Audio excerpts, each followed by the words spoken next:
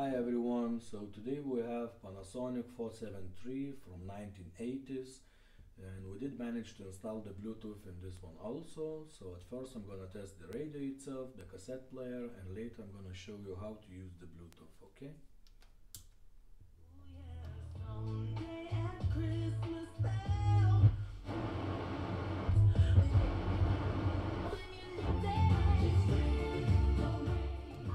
Okay, now the cassette.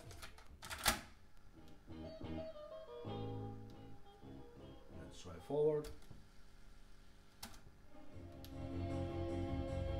Now backwards. Now reverse.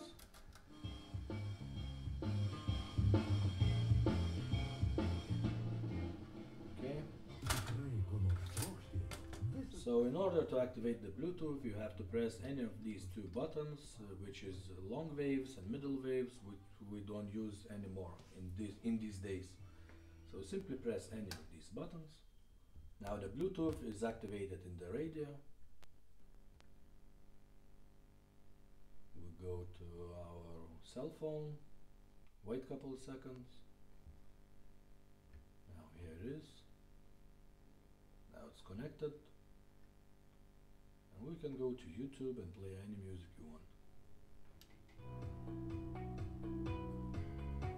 Cool, right?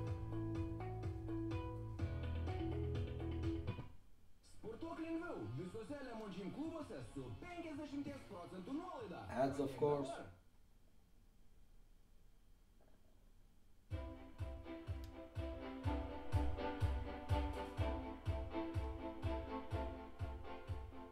Okay.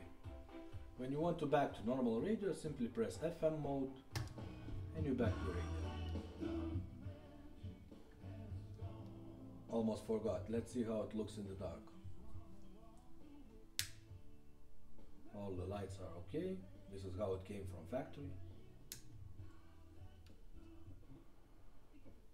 kiekvienas iš mūsų galėtų keliauti. Okay guys, thumbs up.